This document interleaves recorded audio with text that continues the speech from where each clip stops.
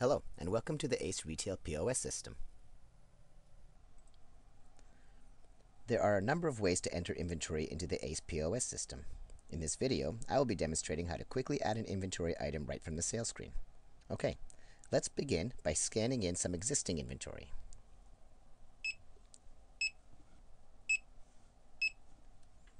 Okay, good. Now let's go ahead and scan in an item that does not already exist. ACE will recognize that the item does not exist and prompt you with an option to either add the new item into inventory or sell it at a miscellaneous price. Let's go ahead and add the new item. The Add New Inventory screen will open. Now all we have to do is fill in the applicable details.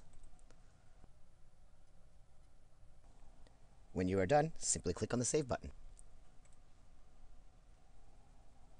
ACE will automatically return you to the current sale, including the recently added item. Let's go ahead and finish the sale.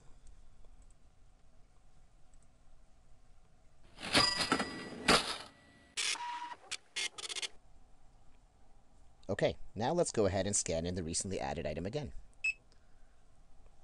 The item is now in the database. Thanks for watching.